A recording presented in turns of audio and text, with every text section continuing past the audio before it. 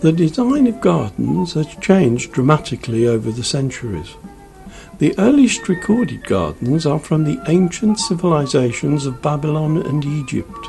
The Romans later brought gardening to Europe, followed by the Moors in Spain and Portugal. During this time, Britain was still in the Dark Ages. Here is a brief history of gardening with examples from the gardens of the National Trust.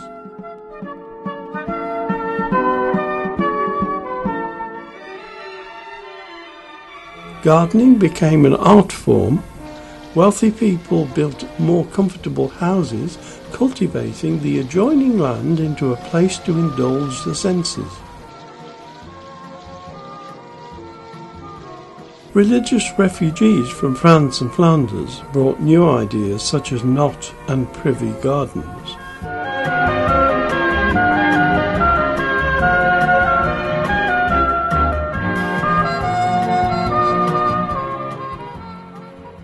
From the Restoration 1660, different garden styles began to emerge, influenced by other European countries. From France came grand hedges and sweeping avenues. From the Netherlands, canals and elaborate parterres, formerly pattern flower beds and from Italy elegant statuary and fountains. The most prominent designers of the time were George London and Henry Wise.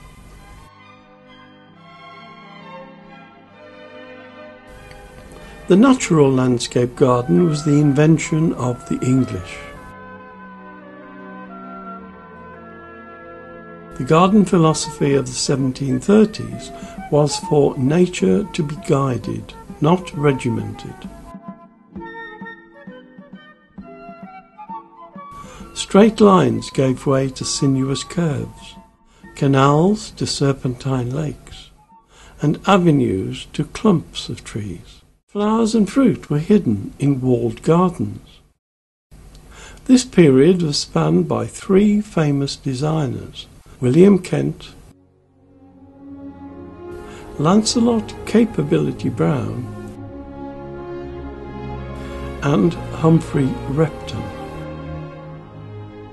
In the 1740s, Henry Hoare created the ultimate landscape garden at Stourhead.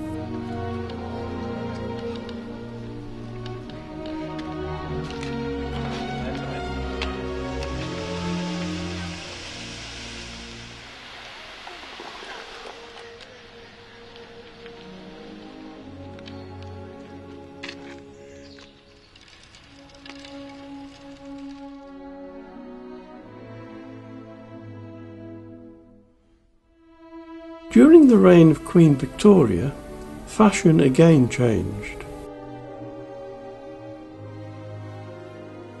Influenced by the gardens of France, Germany and Russia, the vogue was for flowers, fruit, exotic plants and complex bedding schemes.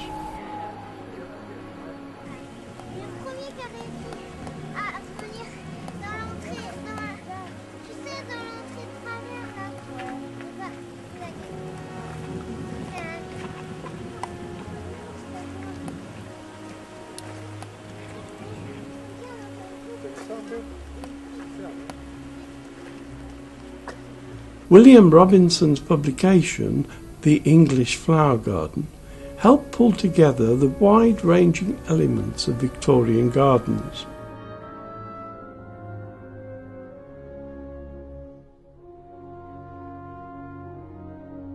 The ideas of William Robinson laid the foundations of the modern garden. Together with Gertrude Jekyll, they spearheaded the movement away from bedding schemes towards a more natural approach.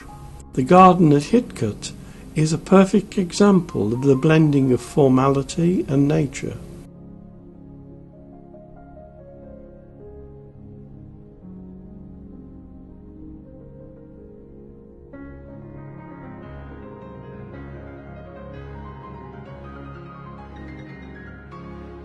Its design has influenced many other gardens, including the Courts and Sissinghurst.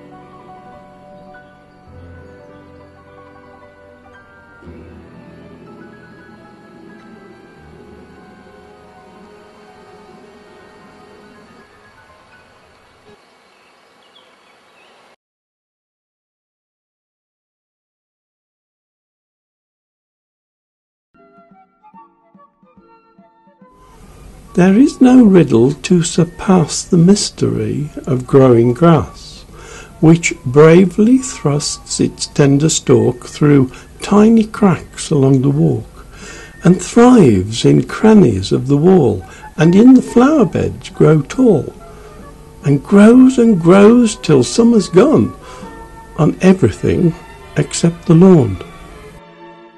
It was in the 1830s that Edwin Budding invented the lawnmower. And it was in the 1860s when gnomes were introduced from Germany. Sir Charles Isham built a rockery which he filled with gnomes in 1867. There are many ancient superstitions about gardening. Many go by sowing by the moon. Others are a little bit more weird. Many ancient gardening manuals suggest sowing seed when naked, but this is probably a relic of ancient fertility custom. An ancient country practice, however, involved a gardener removing his trousers and sitting on the ground before sowing to ascertain the temperature of the soil. The simple rule being that if it was too cold for naked flesh, it was too cold for the seeds.